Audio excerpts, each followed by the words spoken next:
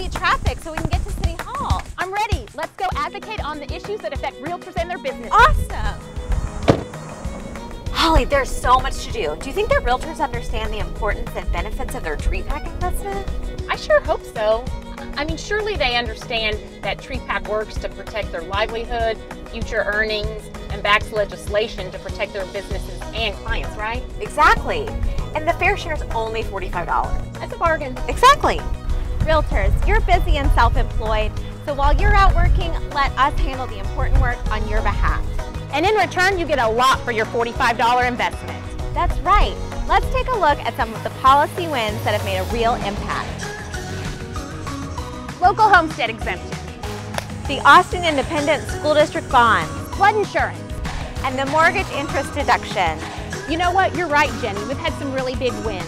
But we're also facing some real challenges at the local, state, and federal levels. Affordability, The broken school finance system. local property taxes. And of course, traffic congestion.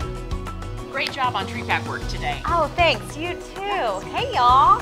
Jenny, hey Holly. Hey, guys. What are you guys doing? We're paying our MLS dues. Oh, perfect. Be sure to contribute to TREPAC when you pay your dues.